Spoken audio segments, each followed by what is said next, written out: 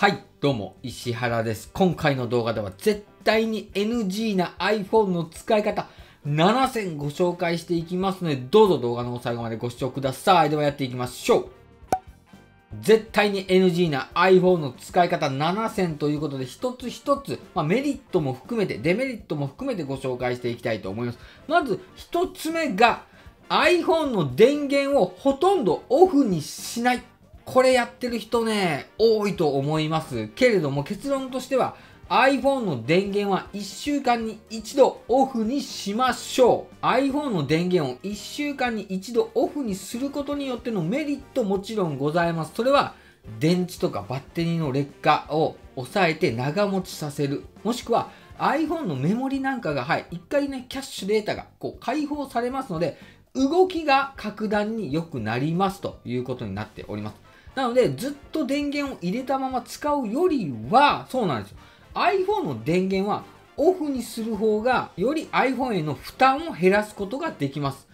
ただ、1日に何度も電源をつけたり、電源をオフにしたりするような、まあ、使い方はやめてください。やりすぎると逆に負担がかかってきます。なので、1週間に1度、月に3回から4回は最低でも iPhone の電源を一度切って、で再起動すると。iPhone の電源をほとんどオフにしないというのは NG 行動になっていますので気をつけておきましょう。そして2つ目が Wi-Fi や Bluetooth を常にオンの状態にしていると。これやってる人ねほとんどだと思いますけれども Wi-Fi とか Bluetooth を使う時だけオンにしましょう。まあ、メリットとしましては電池持ちの、まあ、消耗を抑えることにつながっていきますし、Wi-Fi や Bluetooth を常にオンにしてしまっていると、つまり、それらの機器をずっと iPhone が探していることになります。Bluetooth をオンにしておくと Bluetooth つながるのどこかないかなえ Wi-Fi あこれつながるんじゃないかなという感じでずっとね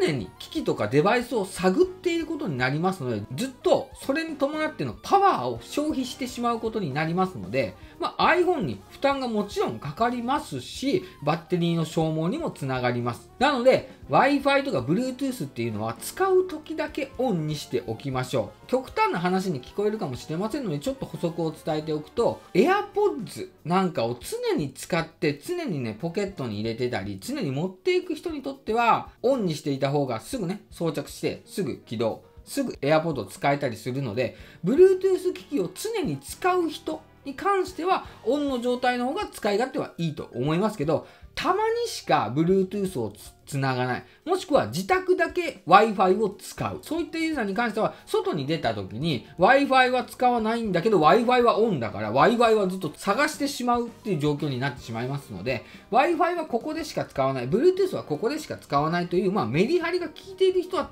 特にね、使う時だけオン。これはね、気がけておきましょう。なので、Wi-Fi や Bluetooth を常にオンにしている状態は NG 行動になってきます。そして3つ目が湿度を気にせずに iPhone を使っている。まあ、これやってる人もね、ほとんどだと思いますけども、基本的には iPhone の推奨値、まあ、温度、使う環境の温度の推奨値がありまして、これが0度から35度。この場所で iPhone を使いましょうということが、これ Apple の公式でももちろんね、言われています。あの低温下とか高温下では温度調整のためにデバイスの動作が変化することがございます。暑い時だとあまりこう重たい作業ができなくなったりとかね、そういうふうなことがありますので、極端な高温化とか低温化で iOS とか iPhone を使い続けるとバッテリーの持ちが悪くなりますよっていうのはね、これね、Apple 公式で言ってますので、むちゃくちゃ寒い環境で iPhone を使わない。むちゃくちゃ暑い状況で iPhone を使わない。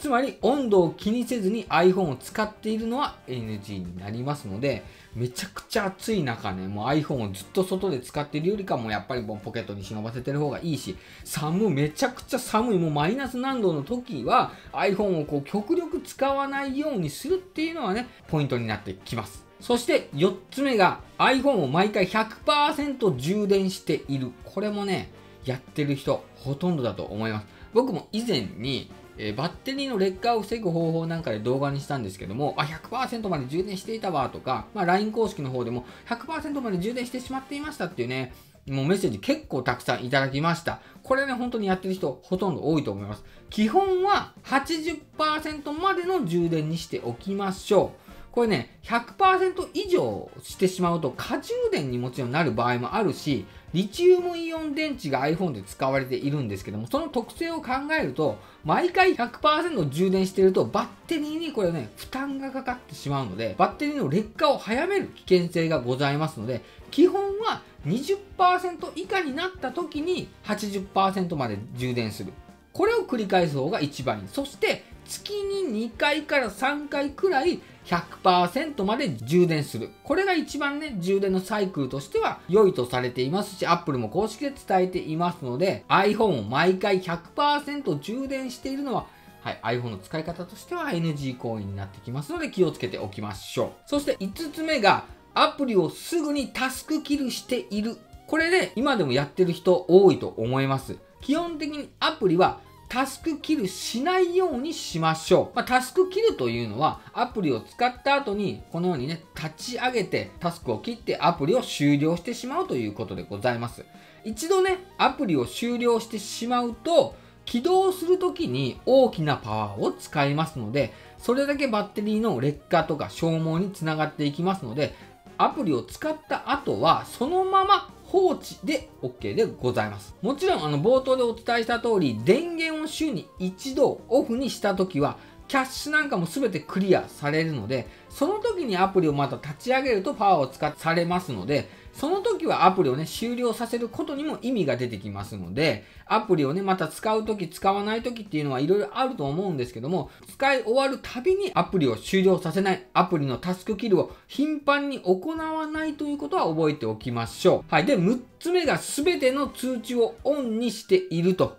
うん、これね、やってる人多いと思うんですけども、必要なアプリだけは通知をオンにしましょう。各そのね、まあ、アプリっていうのは、あなたに使ってほしくて、様々あの試行錯誤してお得なキャンペーンであったり、こうなってますよ、ああなってますよっていう通知を送ってきます。で、あなたにアプリを起動させて、アプリを使わせようとしてきます。もちろん、普段から使っているようなスケジュール管理アプリなんかとか、アクティビティ系の通知を確認することで自分のね、行動を促進したりする効果ももちろんあるんですけども、まあ普段使っている場合は。でも、特に興味のないキャンペーンとか、お知らせ通知なんか、あまり使ってないアプリからの通知がオンになっているだけで、これ必要のないパワーを使うことになります。これはね、iPhone のパワーもそうですし、あなたのパワーも消費してしまうので、必要なアプリだけ通知オンにする。つまり全てのアプリも入れてるアプリ全部の通知をオンにしているということは iPhone の使い方としてはよろしくないことかなという感じがしますので気をつけておきましょう。そして7つ目、たくさんのアプリをダウンロードしている。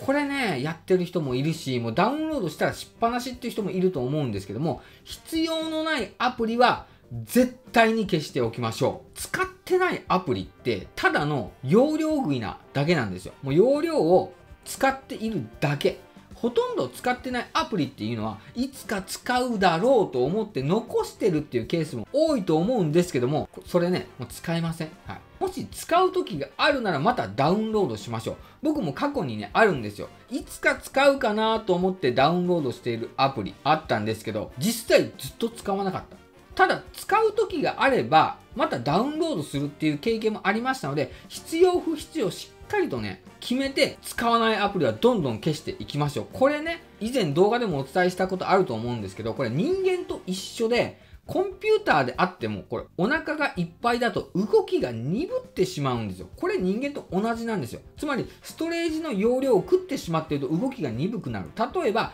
128ギガのストレージ容量がありました。そのうちの100ギガ使っているならば、iPhone の動きってあまり良くないと思います。iPhone のストレージ容量っていうのは、空き容量が多ければ多いほど快適に動作しますので、ストレージ容量をいっぱいいっぱい使っている場合は、iPhone の本当の性能を発揮できない状態にもなりかねませんので、使ってないアプリは消しておく。これがめちゃめちゃ大切になってきますので、たくさんのアプリをもうね、iPhone だからダウンロードして、いつか使う、こんなアプリいっぱいダウンロードしてるって、なんかこう、所有欲だけを満たす、満足感だけを満たしている場合も多いと思うので、たくさんアプリがをダウンロードしている中で本当に使ってないアプリがあったらもうこの動画を見たあなたは絶対に今日のうちに消しましょう。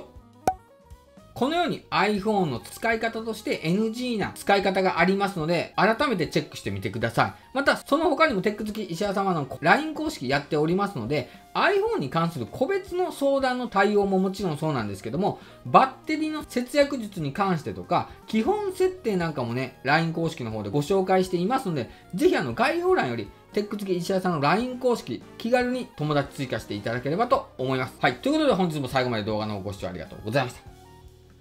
はい。ではまた次回の動画で